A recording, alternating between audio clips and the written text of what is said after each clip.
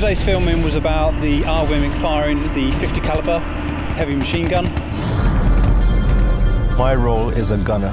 What I have been doing is operating the HMG heavy machine gun. I'm responsible for everything to do with the gun, as well as all the comms on that vehicle as well.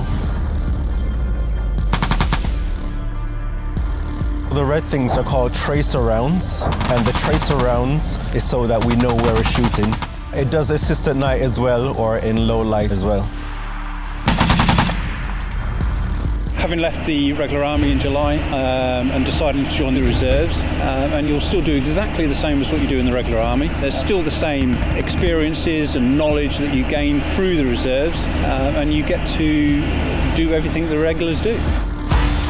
I'm a mortgage advisor. I've been in the reserves uh, for four years now. I joined up just to have a bit of excitement, something that I'm not used to in my civilian life.